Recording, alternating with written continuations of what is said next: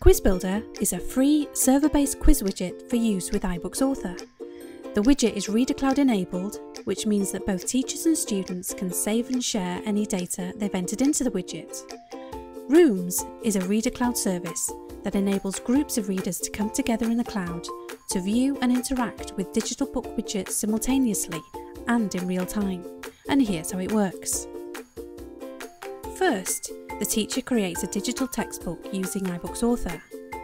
Then they log into Bookry.com to generate their quiz. The widget supports many question types, including multiple choice, multiple selection, fill in the blanks, textbox field, calculator, and draw, and also supports math with LaTeX. Next, the teacher opens up the book on their iPad and taps on the quiz widget to open it. They then tap on the Reader Cloud icon in the top right hand corner of the widget and select Create a Room. The teacher is then given a unique pin for that room, which they can write on the whiteboard, share it in an email, or by Twitter and Facebook. Next, the student opens up the same quiz widget in the book on their iPad and taps on Join Room in the top right hand corner of the black toolbar.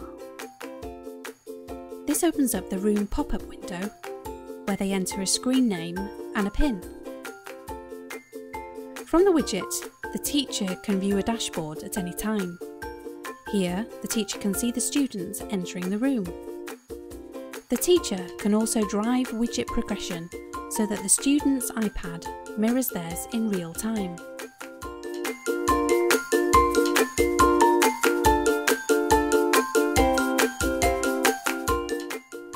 Student progresses through the widget, answering questions as they go.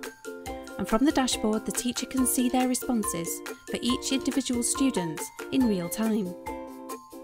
The teacher can also click on any of the question answers to see a mirror image of the student's iPad.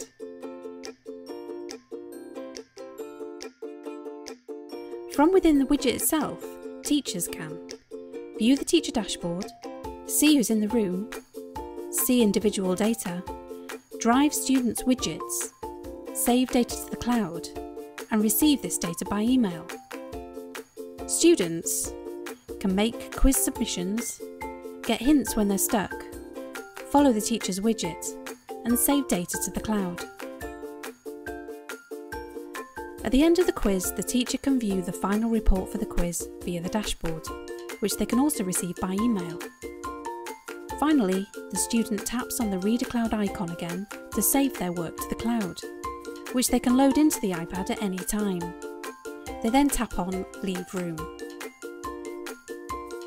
Data for the room can be accessed from a copy of the book on any iPad by entering the pin into the Reader Cloud Rooms pop-up. Data for that room is also available by email, via an online dashboard, and through our API.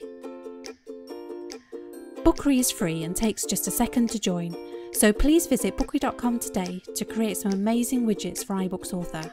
Thanks for watching.